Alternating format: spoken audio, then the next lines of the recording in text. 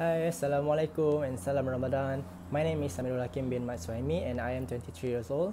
I came from uh, Johor and I further my study at University Technology Mara, UiTM Campus Puncak Alam, uh, Business and Management in Entrepreneurship. And in this video, I would like to share my own experience on one of the event that I've been through. Uh, one of the unforgettable moment during my after my SPM. Everyone after their SPM examination, they will seek or find something to do before they further their study, or they will take a serious step on a working environment straight away. As I finished my SPM, the best decision that I ever had is opening a barbershop yeah, what can I say? It is just a random feeling that I have as I have a little skill on barbering and I decided on a barbershop. At that time, I don't have any knowledge or any experience on handling a business, but things happen. And everyone have their own story. And my story is with my barbershop. My story with my barbershop started at 2015, nearly 2016.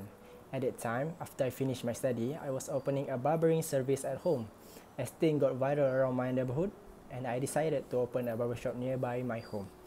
At that time, I decided to get this serious on this matter, but I need to focus on my education too, as I'm waiting for UPU result. Okay, let me think short. Okay, during my barbershop launchings, things not going as, as expected my barbershop were not having a really good feedback. So I decided to work on my friend's barbershop at night shift and gain some experience and apply them to my barbershop at daytime shift, which is my barbershop. It was a struggle moment for me to have a two workplace at the same time. The distance between my barbershop and my friend's barbershop called Makban Barbershop around 16 kilometer and I do it every day for my own learning experience.